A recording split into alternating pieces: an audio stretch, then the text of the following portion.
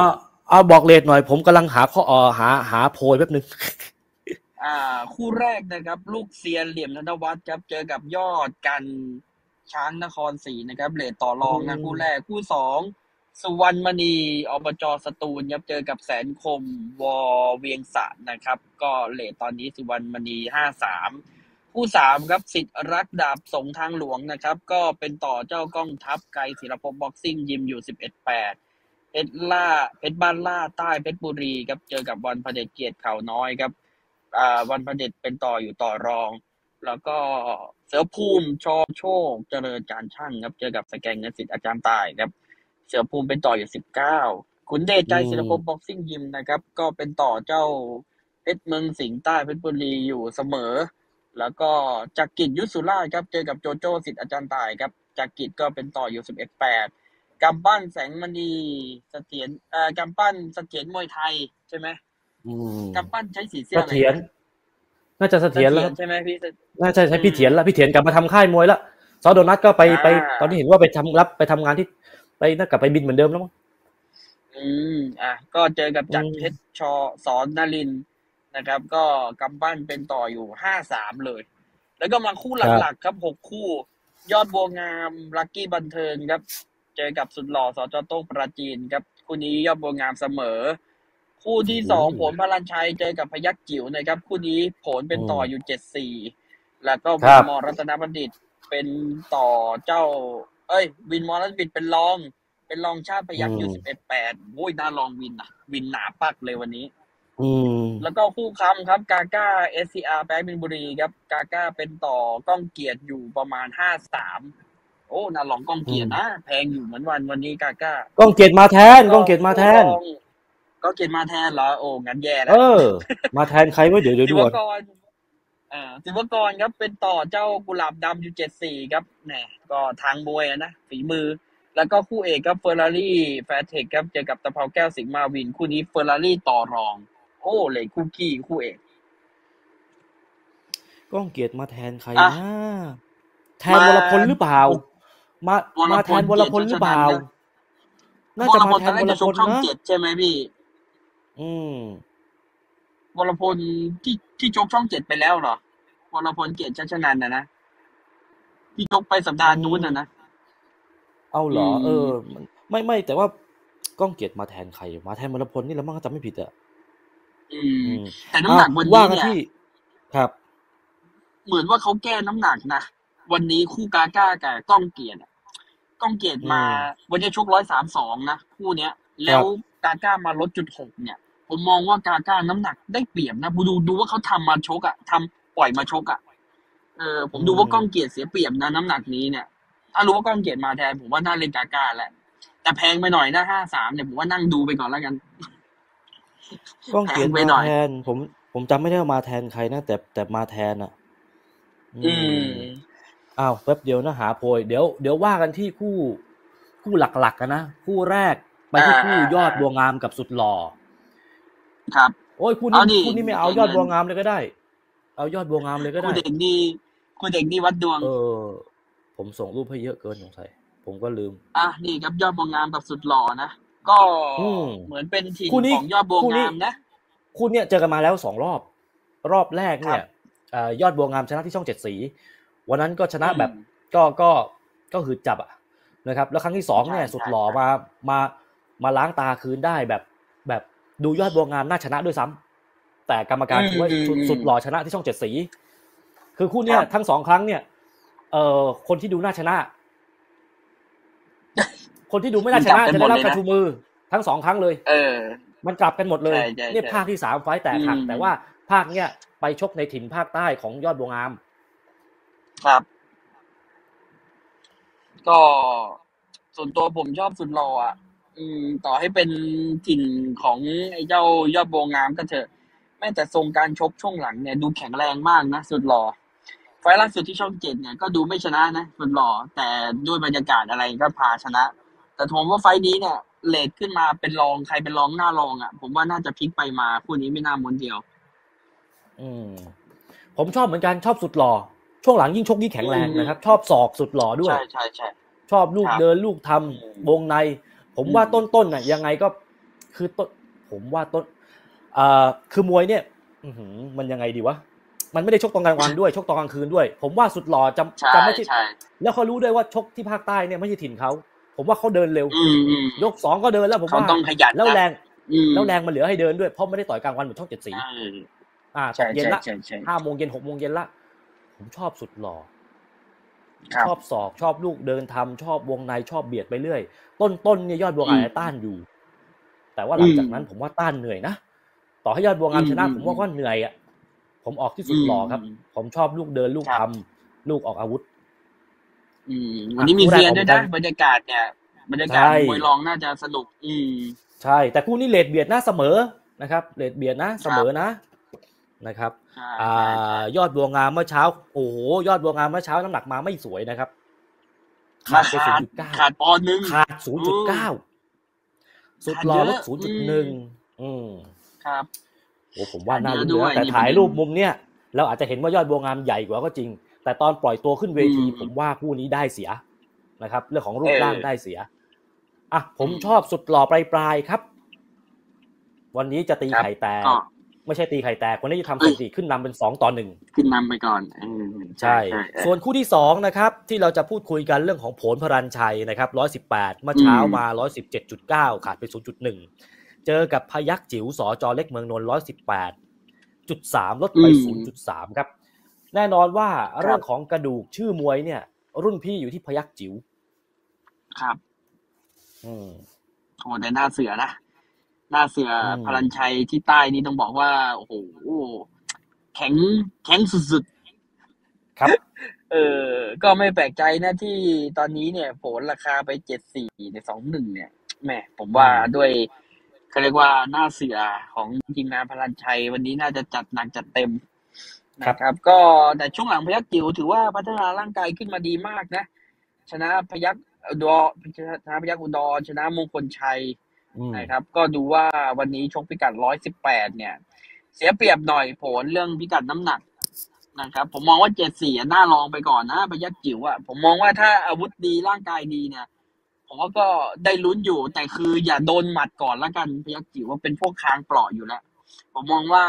ไม่น่าม้วนเดียวน่าลองนะ74ผมมองว่าแพงไปหน่อยสำหรับผลกับพยักจิ๋วเนี่ยอืม ผมชอบผลครับไม่กล้าสวนครับบรรยากาศอืมหน้าเสือด้วยเรื่องผลอะอืมอืมช่วงหลังยิ่งชกอาวุธยิ่งเยอะขึ้นนะครับ ยิ่งชกยิ่งดีวันดีคืนนะครับชอบไปที่ผลพรานชัยครับ ส่วนคู่ที่สามอืมวินมอรัตบัณฑิตนะครับร้อยยี่หกก็ลดไป 0.2 นะครับอืมส่วนชาติพยักศักดิ์สตูล เมื่อวานน้องชายชนะไปแล้วนะ ตอนนี้เป็นคิวของพี่ชายครับร้อยยี่หกนะครับ มาพอดีพิกัดครับ ครับ ก็ถ้าพูดถึงฝีมือลูกหนักลูกแรงก็ต้องวินนะ แต่ถ้าพูดถึงวงครับในเหลี่ยมเก๋าฉายเป็นชุดฉลาดออกเนี่ย ผมว่าชาติพยักกันดีกว่า คู่นี้เลทล่าสุดอยู่ที่ชาติพยักสามสองเนี่ยอืมโอ้ผมว่าน่าลองนะสิบเอ็ดแปดเนี่ยอยู่สิบเอ็ดแปดผมว่าน่าลองวินนะวินช่วงหลังเนี่ยแหมล่าสุดแพ้ต้มยำกุ้งนี่ใครก็แพ้ได้ แต่ชนะเพชรมรกตเนี่ยถือว่าสวยเลยนะครับ ผมมองว่าเวทนี้ร้อยี่สิบเจ็ดเนี่ย ผมว่าแรงปะทะของวินอาจจะดีกว่า อืม อืม ผมชอบวินมอรัตนบัณฑิตครับฝีมือต่อฝีมือครับต้นๆ ผมว่าน่าจะพลิกมาให้ได้ออกตัวมั่งแหละสิบเอ็ดแปดอือหือผมชอบมวยต่ออีกแล้ว ชอบชาติพยักนะครับ ดูว่าฝีมือต่อฝีมือไม่เป็นรองนะ แล้วก็วงในดูดีกว่านะครับ แต่ว่าถ้าราคาไปอืมเยอะๆแล้วเนี่ย ผมอยากให้ออกที่วินอืมบ้าง เวลาวินเป็นตัวเดินตัวไล่อะอืมเขามีหมัดน่ากลัวนะ วินมีหมัดที่น่าโชกคลัวเลดียนะคโชรับคดีโชคดีเพราะว่าเขาใช่เขาเป็นแชมป์เป็นแชมป์กีฬาเยาวชนกีฬาแห่งชาติมวยมวยสากลสมัครเล่นมา ตั้งแต่เด็ก ๆ แล้วนะครับ ก็เลยมีพื้นฐานการออกหมัดอืมที่ดีมาก ตอนที่นั่นแหละอย่างครับที่บอกว่าตอนที่ชาติพยักราคาเป็นเป็นเป็นต่อสักประมาณหนึงแล้วอะแปดหนึ่งสิบหนึ่งอะไรอย่างเงี้ยแล้ววินเป็นตัวไล่เดินทำอะอย่าลืมโต๊ดไว้บ้างครับผมว่าอืมพลิกเกมได้ ผมว่าวินพลิกเกมโอ้ได้ แต่ว่าอันบรรยากาศอะชาติพยักไปก่อนก็แน่หาที่ออกแล้วเออ แต่ว่าเพราะเพราะชั่วโมงนี้ถ้าออกได้ต้องออกก่อนใช่ปะ อืมตรงชั่นี้วโมมีงรานี้คาน่ะออกตัวแพ้แตก็กออกไว้ก่อน แพ้แตก หรือว่าอืมลูกนับเนี่ย ราคาวิ่งเลย แล้วแล้วชั่วโมงเนี่ย ราคาใช่ขึ้นเร็วขึ้นลงเร็วมาก อืมขึ้นลงใช่ราคาใช่ขึ้นคือลงยิ่เร็งวมากยิ่งมีเซียนมวยเนี่ยทำให้บรรยากาศมวยรองอะ มันได้ลุ้น มันได้เชียร์อืมมันได้กดดัน กดดันกรรมการ กดดันนักมวยอะไรอย่างเงี้ย ผมว่ามันเลยพลิกง่ายไง อืม แล้วมีตัวเงินมีอัดฉีดไงเพราะว่าอัดฉีดเนี่ยสำคัญ ใช่ ส่วนคู่ที่สี่ครับ กาก้า แปะมินบุรีนะครับร้อยสามสองจุดหกลดศูนย์จุดหกกล้องเกียร์ทอพันอืสี่สิบมเก้าร้อยสามสองพอดีพิกัดครับ อืม อะ ก็ถ้าแรงประทะเนี่ย ผมว่ากาก้าดีกว่าแน่ แต่ถ้าอืมก้องเกียรติช่วงหลังแกชกร้อยสามสิบกว่ามาตลอดเนี่ย ดูว่าแกก็ยังบ่นอยู่นะ บอกว่าส่วนตัวเนี่ยแกก็ยังชกร้อยสามสิบได้ ชกร้อยยี่สิบเก้ายี่แปดได้แต่ผมว่าดูว่ากาก้าเนี่ยมัน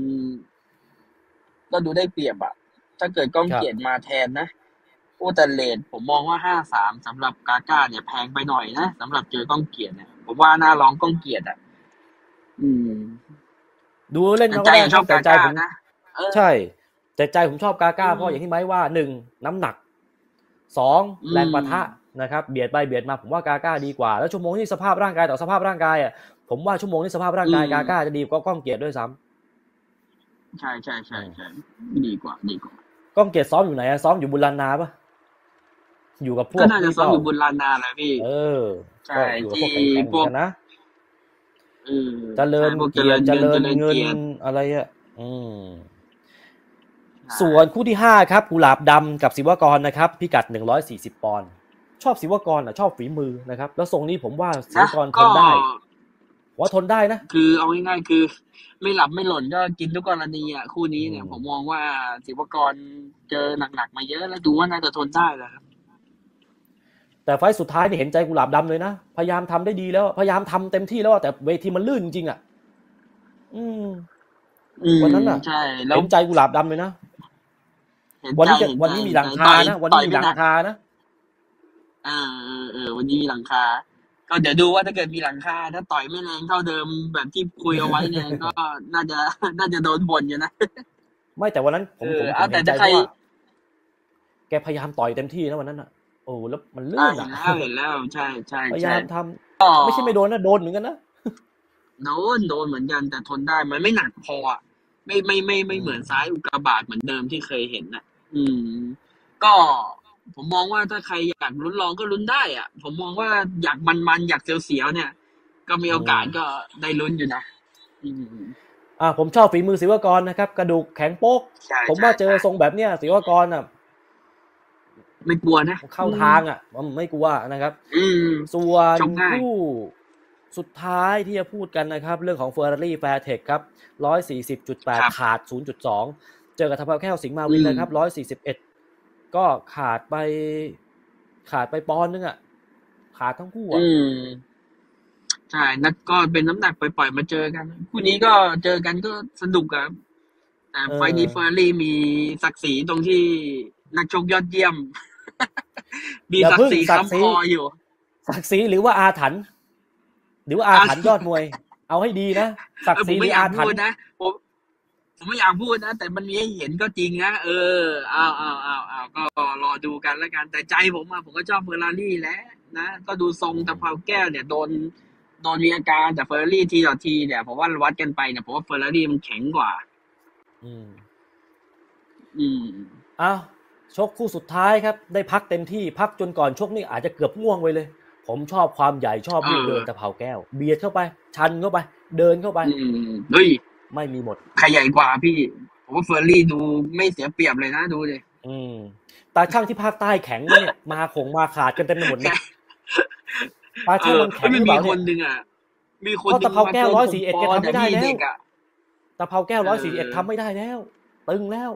อืมนี่ขาดเลยดัอะงนั้นนะอืมอืมน้ำหนักขาดเลย มีมีมีคู่เด็กคู่หนึ่งอะมาเกินหกจุดหกปอนด์อะโอ้โหไม่รู้ว่าโอ้โหทำลดลงเหลือเท่าไหร่ อ๋อไม่เป็นต่อด้วยนะ พี่ลองอ๋อหาดูในในโพยอะอ๋อน่าจะชื่ออะไรชื่ออ้าวสิทธิ์รักมั้งอันนี้ไม่แน่ใจเอออะครับอ่าประมาณนี้มวยรักมวยชอบที่สตูลนะครับ คู่แรกผมทวนนะครับคู่แรกเนี่ยออกผู้สุดหล่อเหมือนกัน